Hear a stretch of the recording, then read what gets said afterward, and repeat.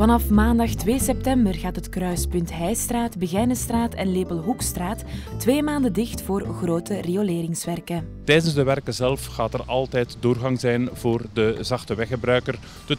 Dus dat wil zeggen dat de fietser en de voetganger altijd doorgang kunnen krijgen. De fietser natuurlijk met de fiets aan de hand.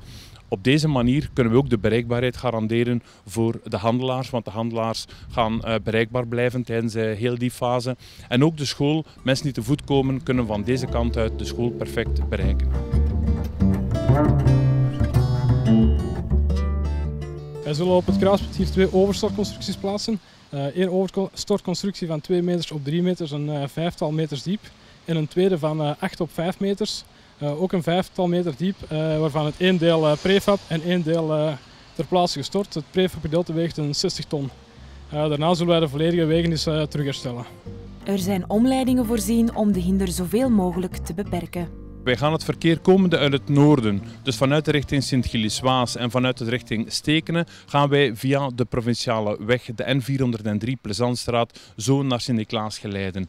Vanuit Sint-Niklaas zelf uh, sturen wij het verkeer in de richting van Sint-Gilles via Vijfstraat en Sparnofstraat naar Sint-Gilles en de richting van Sint-Paubels doen wij dat ook via de N403, dus de provinciale weg. Wij proberen op deze wijze het verkeer zoveel als mogelijk te spreiden. Deze omleidingen zullen dus van pas komen de volgende twee maanden op het kruispunt Heijstraat, Begijnenstraat en Lepelhoekstraat.